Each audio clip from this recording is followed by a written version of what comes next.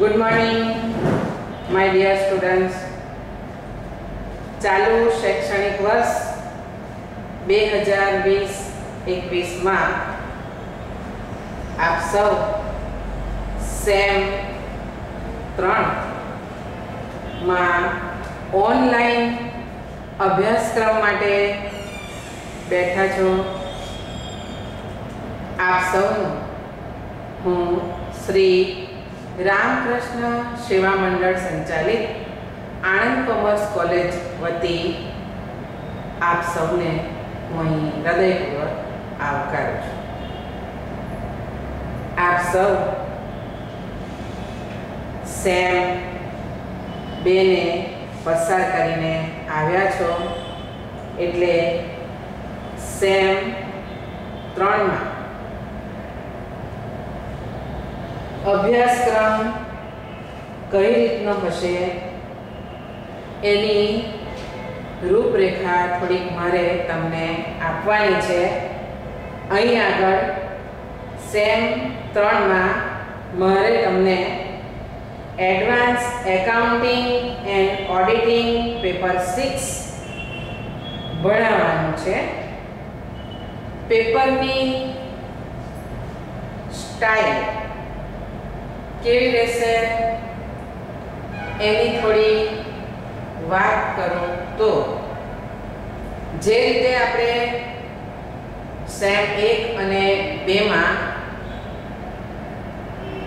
ભણ્યા છે જેવા કે દરેક પેપરના ચાર યુનિટ એવી રીતે અહીંયા પણ દરેક પેપરના જેમાં આ પેપર પણ આવી જાય તે યુનિટ ચાર રહેશે અને દરેક યુનિટના પચીસ ટકા માર્ક્સ રહેશે હવે advance accounting and auditing paper six ઉચ્ચતર નામા પદ્ધતિ અને ઓડિટિંગ પેપર છ નો અભ્યાસક્રમમાં શું છે એની વાત કરીએ તો યુનિટ નંબર એક, જેનું નામ છે ઓડિટનો પરિચય. એની અંદર અગિયાર મુદ્દાઓ લીધા છે. કયા કયા? તો એક, પ્રસ્તાવના બે. વ્યાખ્યા ત્રણ.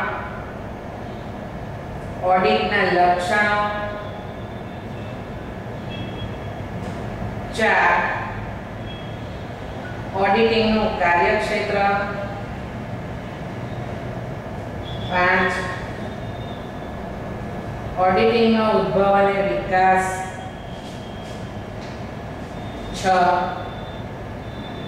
નામો નામા પદ્ધતિ ઓડિટિંગ અને અન્વેષણનો અર્થ અને કાર્ય સાત નામા પદ્ધતિ અને ઓડિટિંગનો તફાવત આઠ ઓડિટિંગ અને અન્વેષણનો તફાવત. નાવ ઓડિટિંગના હેતુઓ કે ઉદ્દેશો. દસ છેતરપિંડી અને ગોટાળા શોધી કાઢવા અને અટકાવવા. અગિયાર ઓડિટિંગની મર્યાદા. આ એક યુનિટ પૂરું થાય. યુનિટ બે, જેનું નામ છે ઓડિટની પ્રક્રિયા. એમાં કયા કયા મુદ્દા? તો કે પ્રસ્તાવના, ઓડિટના પ્રકારો ચાલુ ઓડિટ અને વાર્ષિક ઓડિટ તફાવત. નવું ઓડિટ શરૂ કરતી વખતે ધ્યાનમાં રાખવાના મુદ્દા. ઓડિટ કાર્યક્રમ. ઓડિટ બુક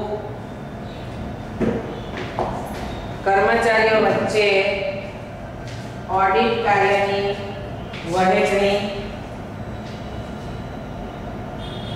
ઓડિટ કાર્યક્રમ અને નોંધપોથી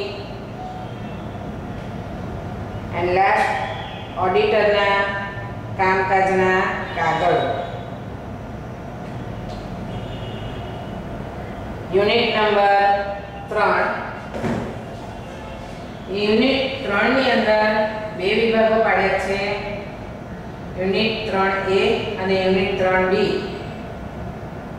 જેમાં યુનિટ ત્રણ એનું નામ છે. આંતરિક અંકુશ, આંતરિક નિયંત્રણ અને આંતરિક ઓડિટ એની અંદર અઢાર મુદ્દાઓ લીધા છે. કયા? કયા તો એક પ્રસ્તાવના બે આંતરિક નિયંત્રણનો અર્થ ત્રણ આંતરિક નિયંત્રણનું કાર્યક્ષેત્ર એટલે કે કાર્ય વિસ્તાર ચાર આંતરિક અંકુશની વ્યાખ્યા પાંચ. આંતરિક અંકુશ કે તપાસના લક્ષણો કે તત્વો છ. આંતરિક અંકુશના ઉદ્દેશો કે હેતુઓ સાત. આંતરિક અંકુશના ફાયદાઓ કે લાભો આઠ. આંતરિક અંકુશના ગેરફાયદાઓ કે મર્યાદાઓ કે ગેરલાભો.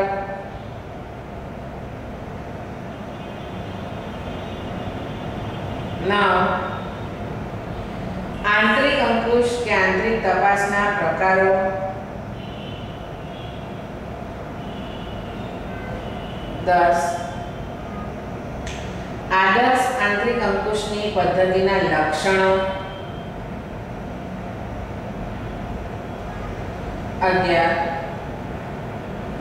આંતરિક અંકુશ કે આંતરિક તપાસની પદ્ધતિના મૂળભૂત સિદ્ધાંતો કે ખ્યાલો. બાર. આંતરિક અંકુશ અંગે ઓડિટરની ફરજ. તેર આંતરિક અંકુશ કે આંતરિક તપાસની પદ્ધતિ કેટલી અસરકારક કે અસ- સંતોષકારક છે તે જાણવાની રીત ચૌદ રોકડ વેચાણ અંગે આંતરિક અંકુશ પંદર મજૂરી વેતન કે દર માયાની ચૂકવણી અંગે આંતરિક અંકુશની પદ્ધતિ સોળ આંતરિક ઓડિટ સત્તર આંતરિક ઓડિટ ને કાનૂની ઓડિટ વચ્ચેનો તફાવત કે ભેદ અઢાર આંતરિક અંકુશ કે આંતરિક તપાસ અને આંતરિક ઓડિટ વચ્ચેનો તફાવત. આ યુનિટ ત્રણ એ પૂરું થાય. યુનિટ ત્રણ બી જેનું નામ છે ઓડિટ ચકાસણી.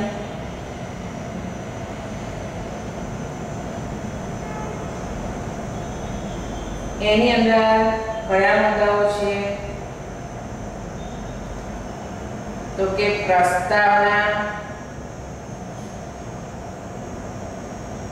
બે અર્થ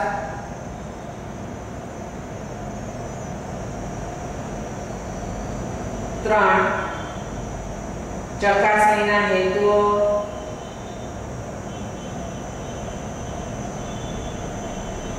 ચાર ચકાસણીના ફાયદા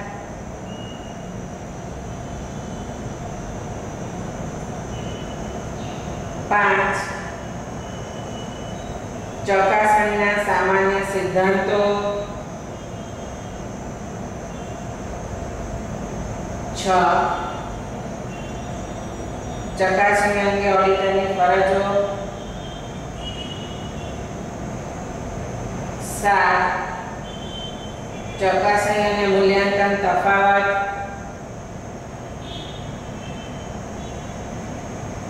આઠ. ચકાસણી કરતી વખતે ધ્યાનથી રાખવાના મુદ્દાઓ.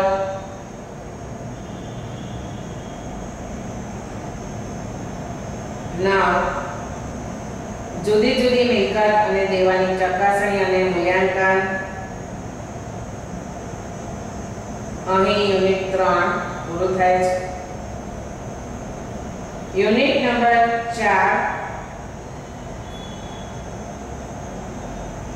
જેનું નામ છે વાઉચિંગ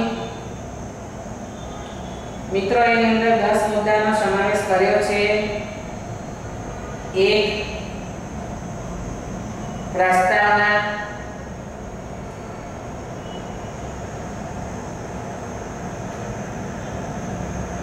બે વાઉચિંગનું મહત્વ.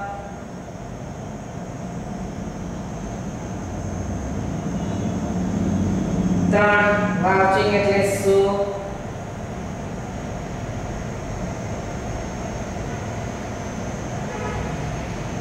ચાર વાઉચિંગની વ્યાખ્યા.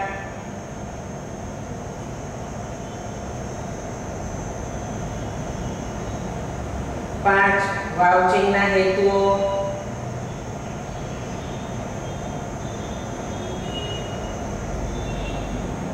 વાઉચર એટલે શું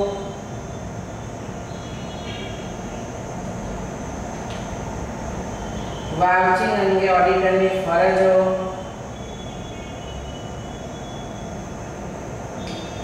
વાઉચિંગ કેવી રીતે કરાય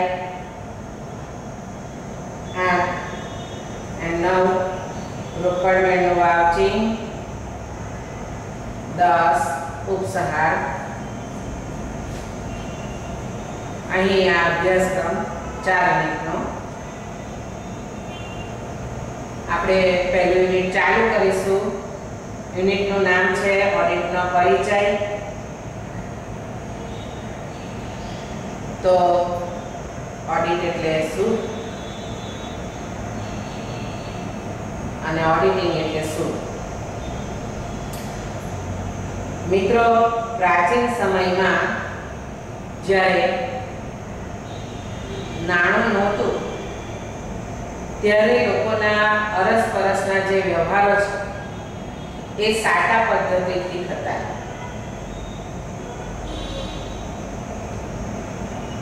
પૃથ્વી પર અનેક જીવો કે સજીવો વસે છે. એમાંના આપણે મનુષ્ય પણ એક જીવ છે. આપણી પાયાની જે જરૂરિયાત છે મનુષ્યની એક ખોરાક, કપડા અને રહેઠાણ, રોટી, કપડા, ઓર મકાન આ કંઈક એની જરૂરિયાત. હવે સામાન્ય રીતે આપણી પાસે એક જરૂરિયાત પોતાની પાસે હોય તો બીજી જરૂરિયાત સંતોષવા માટે બીજા પર આધાર રાખવો પડે છે.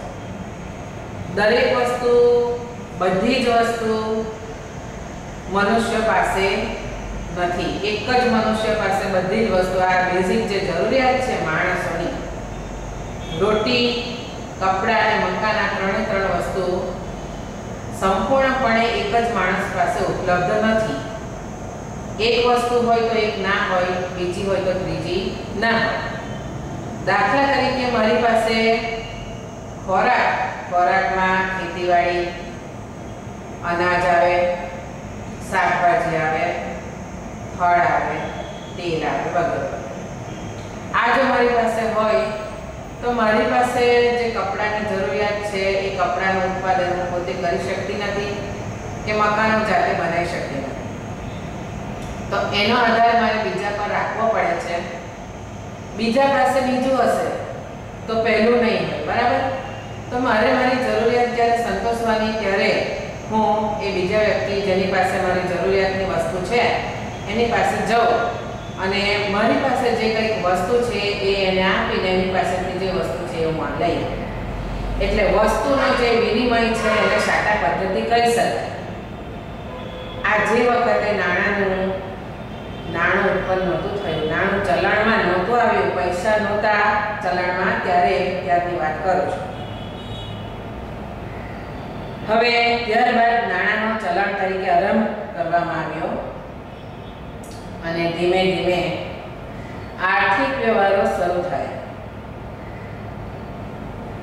માણસે પોતાની વ્યાપારી પ્રવૃત્તિ નફો કમાવાના ઉદ્દેશથી શરૂ કરી, જેમ કે ધંધો અને વ્યાપાર. અઢારમી સદી ના માં ઔદ્યોગિક ક્રાંતિની શરૂઆત થઈ. શરૂઆતના તબક્કે વ્યક્તિગત માલિકીના ધોરણે ધંધો ચાલતો હતો. વ્યક્તિ જાતે પોતાની રીતે ધંધો કરતો હતો. જેમાં ધંધામાં મૂડી પૂરી પાડવી, ધંધાના વ્યવહારોની નોંધ રાખવી કે હિસાબો રાખવા વગેરે તે જાતે કરતો અને તેના પર તેનો સંપૂર્ણ અંકુશ હતો ભાગીદારી પેઢીમાં પણ આ જ પ્રકારની પરિસ્થિતિ હતી. પણ જોઈન્ટ સ્ટોક કંપની જેને સંયુક્ત હિસ્સાવાળી કંપની આપણે કહીશું, એમાં સંજોગો અલગ હતા. કારણ કે તેની મૂડી શેરોમાં વહેંચાયેલી હતી શેર હોલ્ડરો કંપનીના માલિક કહેવાતા, કહેવાય છે. અને દરેક શેર હોલ્ડર એક જ જગ્યાએ રહેતા નથી. એ જુદી જુદી જગ્યાએ રહે છે. તો તેઓ સાથે ભેગા મળીને ધંધો ચલાવી શકતા નથી. તેથી સંચાલક મંડળની નિમણૂક કરે છે. આ સંચાલક મંડળ એ શેર હોલ્ડરોના તેઓ ધંધો ચલાવે છે અને વર્ષના અંતે તેઓ કંપનીના વાર્ષિક હિસાબો રજૂ કરે છે. કંપનીના વાર્ષિક હિસાબો એટલે સામાન્ય રીતે એની અંદર આપણે વેપાર ખાતું, નફો નુકસાન ખાતું અને પાકું સરવૈયું એમ કંઈક લઈએ છીએ. વેપાર ખાતું શરૂઆતનો અને આખરનો સ્ટોક બતાવે છે. નફા નુકસાન ખાતું નફો અને નુકસાન એટલે કે આવક અને ખર્ચા બતાવે છે. પાકું સરવૈયું ધંધાની સાચી અને વ્યાજબી આર્થિક પરિસ્થિતિ મિલકતો કેટલી અને મૂડી કેટલી બતાવે છે. હવે, ધંધાનું નફા નુકસાન ખાતું સાચો અને વ્યાજબી નફો નુકસાન દર્શાવે છે કે કેમ એક પ્રશ્ન થાય. ધંધાનું પાકું સરવૈયું ધંધાની સાચી અને વ્યાજબી આર્થિક સ્થિતિ દર્શાવે છે કે નહીં? આવા કંઈક પ્રશ્ન થાય. ઉપરના પ્રશ્નોના ઉકેલ માટે એક કે બે ઇક્વિટી શેર હોલ્ડરો આ પ્રવૃત્તિ કરતા હતા અને ચકાસણી કરીને હિસાબોની સાચી રીતે નોંધ રાખવામાં આવે છે કે તેવું પ્રમાણપત્ર આપતા ધીમે ધીમે શેરહોલ્ડરોને લાગ્યું કે આ પ્રવૃત્તિ માટે આ પ્રકારના જ્ઞાન અને કૌશલ્યની જરૂરિયાત છે. હવે જે વ્યક્તિ આવું જ્ઞાન અને કૌશલ્ય ધરાવે છે, તેને ઓડિટર તરીકે ઓળખવામાં આવે છે. આ પદ્ધતિ એટલે કે ઓડિટર જે કંઈ કામ કરે છે, એને ઓડિટિંગ કહેવાય આ ઓડિટિંગની પદ્ધતિનો મૂળ ઉદ્દેશ ભૂલો શોધવાનો અને છેતરપિંડી તપાસનો છે. હવે ઓડિટિંગની વ્યાખ્યા માં એમ કહી શકાય કે ઓડિટ જે શબ્દ છે એ મૂળ લેટિન શબ્દ છે, કે જે ઓડાય પરથી આવ્યો છે. જેનો અર્થ સાંભળવું એવો થાય છે. શરૂઆતના સમયમાં હિસાબનીશ એટલે કે એકાઉન્ટન્ટ હિસાબો વાંચે અને ઓડિટર તે સાંભળીને હિસાબો તપાસતો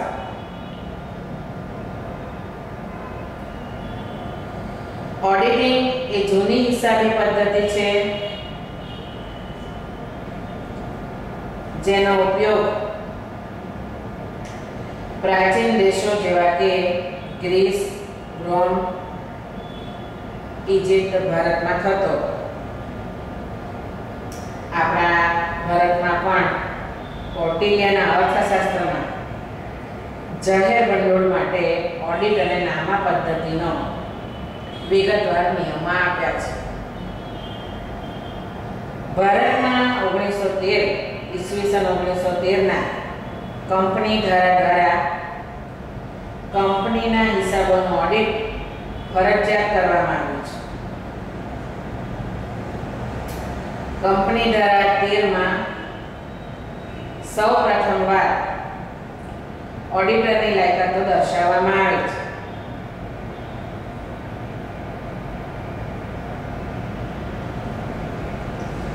The International Accounting Standards Committee and the Institute of Chartered Accounts of India ના એકાઉન્ટિંગ સ્ટાન્ડર્ડ્સ બોર્ડ દ્વારા એકાઉન્ટન્ટ અને ઓડિટિંગના રોજબરોજના કાર્ય માટે ઉપયોગી એકાઉન્ટ અને ઓડિટિંગના પ્રમાણો એટલે કે સ્ટાન્ડર્ડ વિકસાવવામાં આવ્યા છે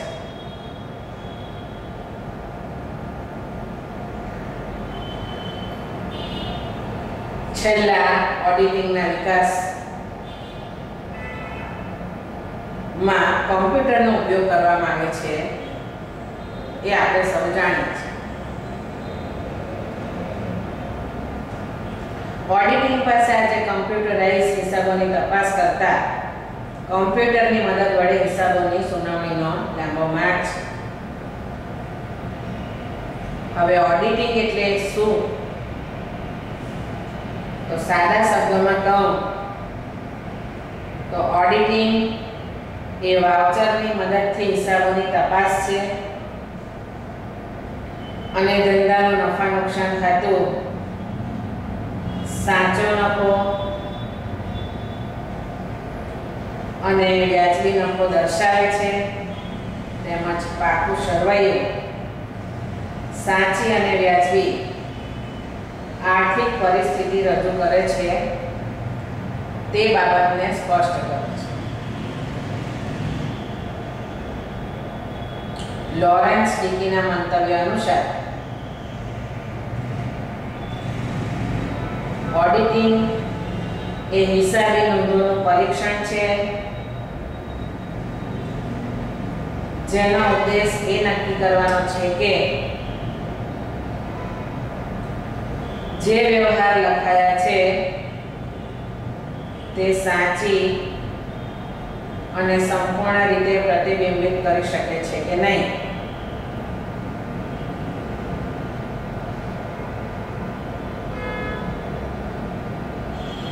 ઓડિટ એ નાણાકીય અંકુશનું એક સ્થાપન છે. કે નાણાં, મિલકતો વગેરેના ઉપયોગ અને નિકાલ અંગેના ખર્ચા બેદરકારી કે છેતરપિંડીના વ્યવહારો સામે માલિક, વ્યક્તિ, નોકર કે વ્યક્તિઓનું જૂથ વતી માલિકના એક એજન્ટ કે નોકર તરીકે સલામતીનું કાર્ય કરે છે. તે માલિક વતી એવી ખાતરી આપે છે કે હિસાબોની જાળવણી અને રજૂઆત સાચી રીતે કરવામાં આવી છે તથા તથા ખર્ચાઓ યોગ્ય રીતે કરવામાં આવ્યા છે. આ હેતુ માટે નિમાયેલ એજન્ટ ને ઓડિટર તરીકે ઓળખવામાં આવે છે. હવે નવો મુદ્દો લેશો એમાં ઓડિટિંગના લક્ષણ. કે ઓડિટ એક કળા છે.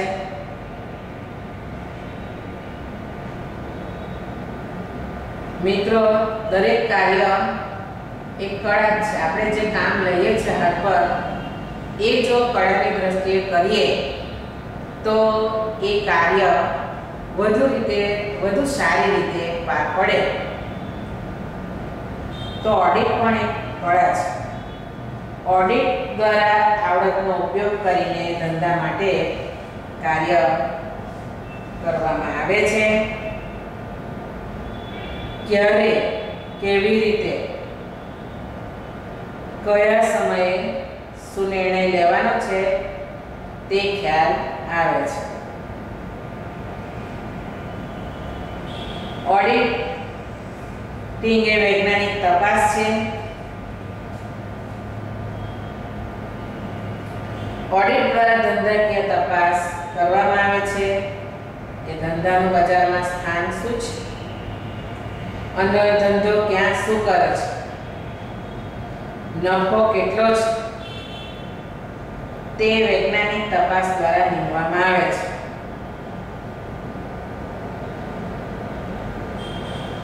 ઓડિટિંગ દ્વારા સચોટ સ્થિતિ જાણી શકાય છે.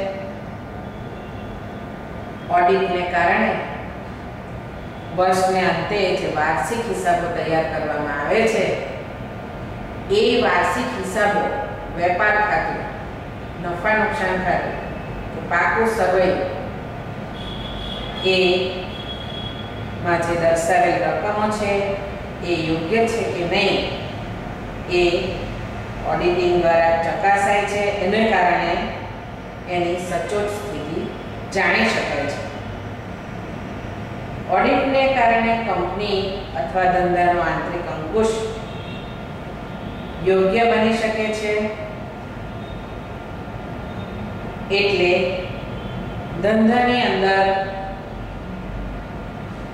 થતું કાર્ય ચકાસી શકાય છે. ઓડિટ દ્વારા વર્ષના અંતે ઓડિટર યોગ્ય ચકાસણી કર્યા બાદ અહેવાલ રજૂ કરવામાં આવે છે. તેથી અહેવાલમાં રહેલા પત્રકો, બધા પત્રકો પત્રકો એટલે કે પત્રકોમાં આપેલી માહિતી સાચી છે કે નહીં જાણી શકે છે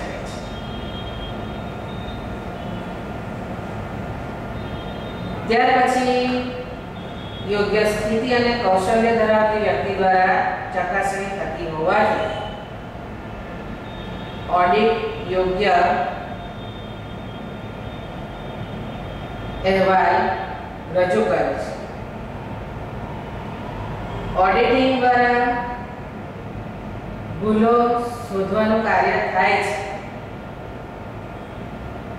જેથી કરીને ધંધાને ફાયદો છે. ત્યાર પછી છેતરપિંડી અને ગોટાળા અટકાવવામાં આવે ધંધામાં છેતરપિંડી થવાની શક્યતા છે. કારણ કે ધંધાના માલિકો બધા જ માલિકો ધંધો ચલાવી શકતા નથી, ધંધો ચલાવવા માટે બીજાને આપવો પડે. અને બીજાને આપીએ એટલે એની અંદર છેતરપિંડી કે ગોટાળા થવાની શક્યતાઓ રહેલી છે. ઓડિટર હિસાબોની તપાસ કરી અને એની અંદર થયેલી જે છેતરપિંડી કે હિસાબમાં થતી જે ભૂલો છે, કે ગોટાળાઓ છે એ શોધી કાઢે છે અને આ રીતે ધંધામાં થતી છેતરપિંડી કે ગોટાળા અટકાવવામાં આવે છે. ત્યાર પછી નેક્સ્ટ પોઈન્ટ લેશું. ઓડિટનું કાર્યક્ષેત્ર. મિત્રો, આ તમે જે કંઈ ઓનલાઈન ટીચિંગ લો છો, એનું આ જે મારો સબ્જેક્ટ હું ભણાવું છું એડવાન્સ એકાઉન્ટિંગ અને ઓડિટિંગ પેપર છ. એનું મટીરિયલ આપ સૌને મળી જશે.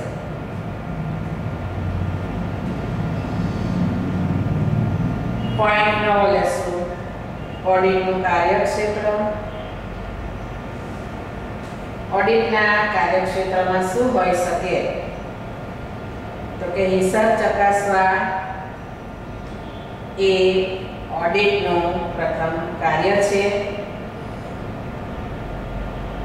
હિસાબની ચકાસણી કરવી, જેથી ધંધામાં રહેલી ભૂલો સુધારી શકાય.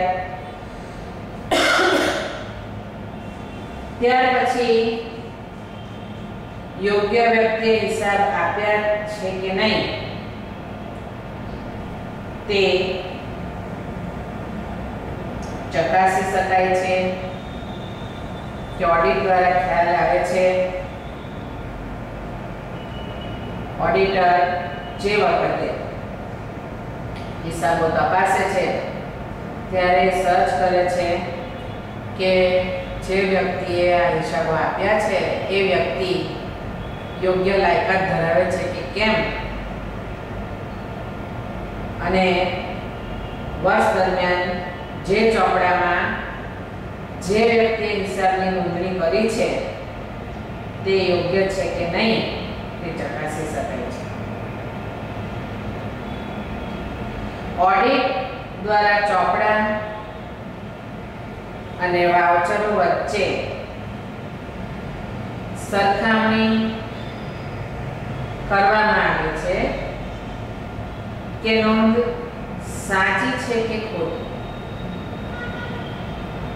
ઓડિટર જે વખતે ચોપડા તપાસે છે, વાઉચરો બનાવે છે,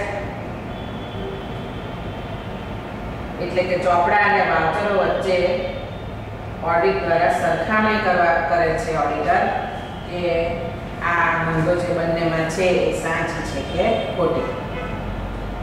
ત્યાર પછી ઓડિટ દ્વારા ચકાસવામાં આવે છે કે ધંધો કંપની દ્વારા પ્રમાણે કાર્ય કરે છે કે નહીં, તેની યોગ્ય ચકાસણી થઈ શકે છે. બીજું, ધંધામાં જે વ્યક્તિએ વર્ષ દરમિયાનની જે હિસાબોની ખતવણી અથવા નોંધ કરે છે, તે ખતવણી યોગ્ય છે કે નહીં તે ચકાસવામાં આવે છે. ત્યાર પછી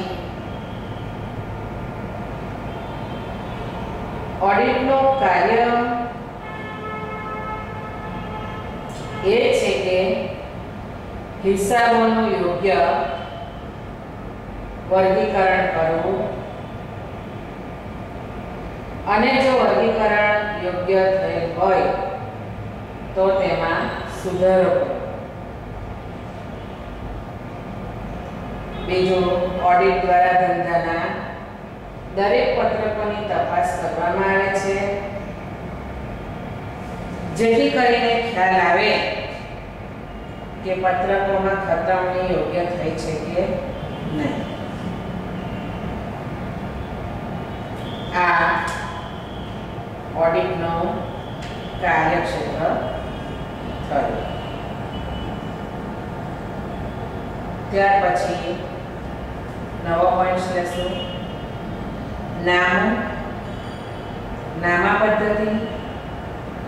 ઓડિટિંગ અને અન્વેષણનો અર્થ અને કાર્યો. હવે નામું એટલે સાદા અર્થમાં કહીએ રોજબરોજના ધંધાના વ્યવહારોને હિસાબોના ચોપડા આમ નોંધ અને ખાતા વહીમાં નોંધવા અને તેની ખતવણી કરવી.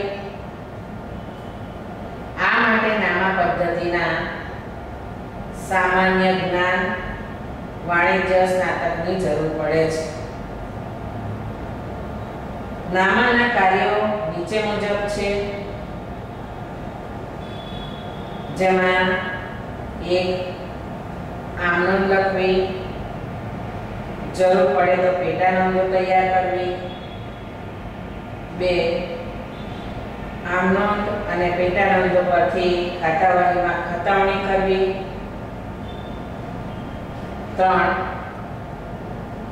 ખાતાના બંને બાજુના સરવાળા કરવા. ચાર, ખાતાની બાકીઓ શોધવી. ત્યાર પછી નામા પદ્ધતિ એટલે શું? નામાલેખનનું કાર્ય પૂર્ણ થયા બાદ મુખ્ય હિસાબને કાચું સરવૈયું અને વાર્ષિક હિસાબો તૈયાર કરે છે. તે જરૂર જણાય તો ભૂલોની સુધારણા કરે છે. તેમજ હવાલાનું પણ કરે છે. તેમજ હિસાબી અહેવાલ રજૂ કરે છે. નામા પદ્ધતિના કાર્યો નીચે આ પ્રમાણે હશે. એક નામાલેખન કરનાર કાર્યને તપાસવું. બે, કાચું સરવૈયું બનાવવું. ત્રણ. વાર્ષિક હિસાબો તૈયાર કરવા. ચાર, ભૂલોની સુધારણા અને હવાલા નોંધો કરવી. છ, હિસાબોનું વિશ્લેષણ કરીને તેનો અહેવાલ સંચાલકો સમક્ષ રજૂ કરવો ઓડિટિંગ એટલે શું? કે ઓડિટિંગ ને હિસાબો લખવા સાથે કોઈ સંબંધ નથી. તે માત્ર હિસાબોની ચકાસણી અને તપાસ સાથે સંબંધ ધરાવે છે. ઓડિટિંગના કાર્ય આ પ્રમાણે છે કે એક હિસાબ વિશે કરેલા કાર્યની ચકાસણી કરવી, ત્યાર પછી હિસાબો આંકડાકીય રીતે સાચા છે કે ખોટા તે ચકાસવા વાઉચિંગ કરવું, મિલકતોને દેવાનું ચકાસણી અને મૂલ્યાંકન કરવું નફા નુકસાન ખાતું સાચો અને વ્યાજબી નફો કે નુકસાન દર્શાવે છે કે નહીં તે તપાસવું. પાકું સરવૈયું સાચી અને વ્યાજબી આર્થિક સ્થિતિ દર્શાવે છે કે નહીં તે તપાસવું. અને લાસ્ટ ઓડિટ અહેવાલ